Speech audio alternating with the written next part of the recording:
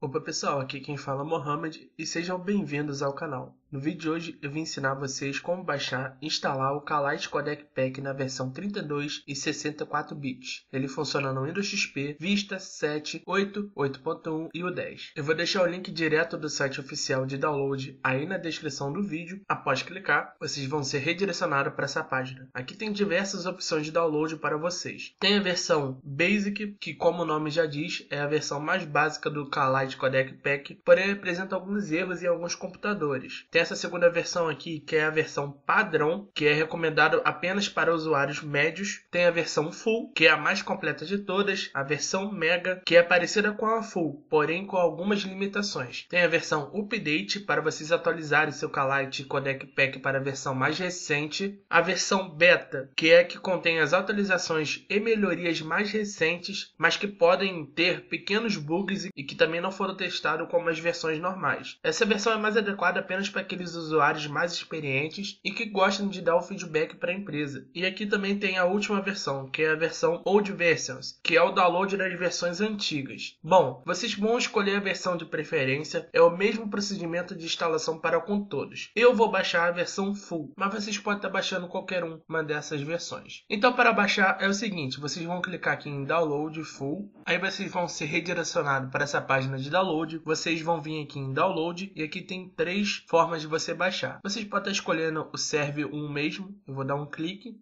automaticamente o download já vai começar. Vocês vão aguardar. Após baixar, vocês podem estar clicando aqui onde está o Calate Codec Pack, dá um clique.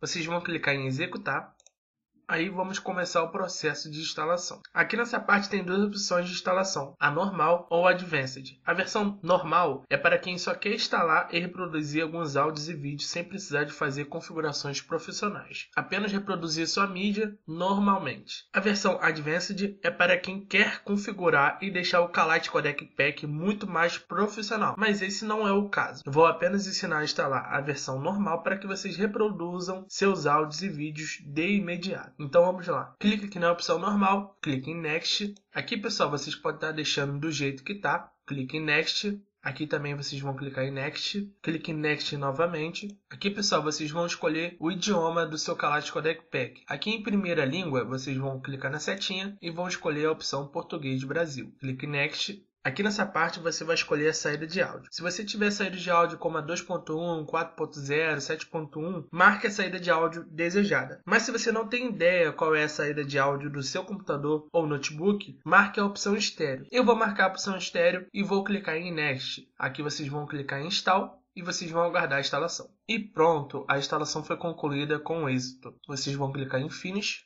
Automaticamente, após você clicar em Finish, vai aparecer essa tela aqui para vocês baixarem o Calate Codec Pack. Se der algum problema na sua instalação, se der algum tipo de problema, o Calite não está pegando, eu recomendo que vocês baixem uma dessas três opções aqui, de preferência beta versão, ok? Então vamos fechar. Agora vamos configurar o seu áudio ou seu vídeo para poder abrir com o Media Player Classic, caso eles não estejam abrindo automaticamente. Aqui eu tenho o formato de música e aqui eu tenho um vídeo. Eu vou primeiramente primeiramente começar com a música. Vocês vão na sua música, clica com o botão direito em cima, abrir com, escolhe outro aplicativo e logo de cara vai aparecer aqui o MPC HC. Mas caso não apareça, vocês vão clicar em mais aplicativos e vão procurar ele por aqui, ok? No meu caso já está aqui no início, eu vou clicar, clicar nessa caixinha aqui, ó. Sempre usar esse aplicativo para abrir arquivos MP3. Clique na caixinha e clique OK. Agora todas as músicas no formato MP3 vai abrir com Media Player clássico. Sabendo disso, eu vou fechar e vamos fazer isso com o vídeo. No meu caso já está para os vídeos abrirem com Media Player clássico, mas é claro que quando a gente baixa filmes, existem vários formatos diferentes. Então, caso você queira já predefinir para que abra com Media Player clássico, vocês vão clicar no botão direito em cima, abrir com